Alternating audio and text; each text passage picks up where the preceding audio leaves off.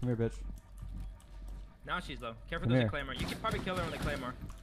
Yeet.